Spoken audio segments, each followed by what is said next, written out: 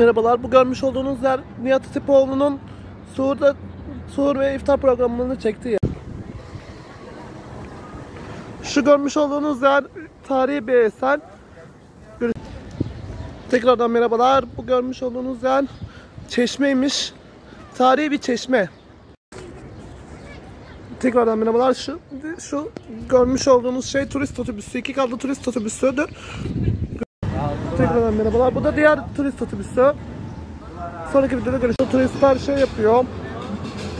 Burada turistler kartpostal alıyor. İstanbul'la alakalı falan kartpostal alıyor. Büfe işte. Kartpostal alınan satılan büfelerden. Şurada görmüş olduğumuz yapı Ayasofya Müzesi. Ayasofya. Eskiden kiliseydi. Sonra müze oldu. Şu an cami. Ama Hristiyanlar burayı kilise olarak kullanılmaktaydı eskiden. Bir sonraki videoda görüşürüz. Şu, şurada görmüş olduğunuz yapı Sultanahmet Camii.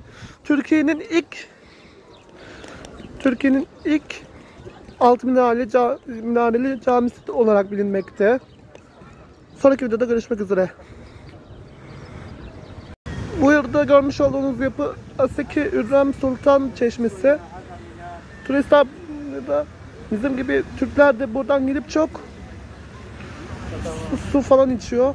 Tarihi Hürrem Sultan Çeşmesi ve Hürrem Sultan Hamamı.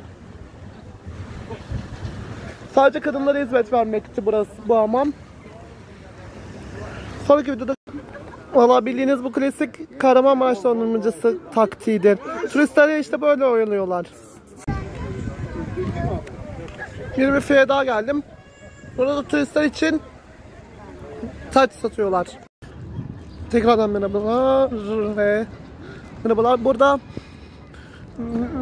Museum Pass Information and Sales yani müze giriş kartlarının satış yeri ve bilgi alma yeri var. Şurada zaten kafe, kafeler var. Fiyatlara baktım. Turistik fiyatlar.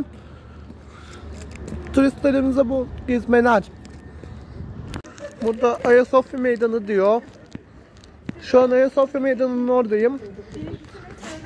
Turistler buraya çok gelmekte. Her zamanki gibi Sultanahmet turist cenneti zaten. Bunu söylememize gerek bile yok. Turistler Sultanahmet'te çok oluyor.